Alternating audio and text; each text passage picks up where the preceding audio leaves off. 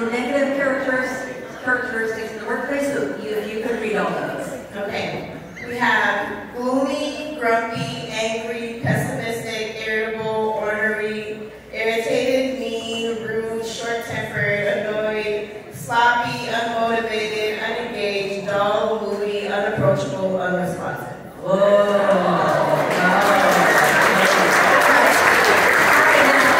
Now listen to this. Years ago, I used to collect all the papers from all the tables.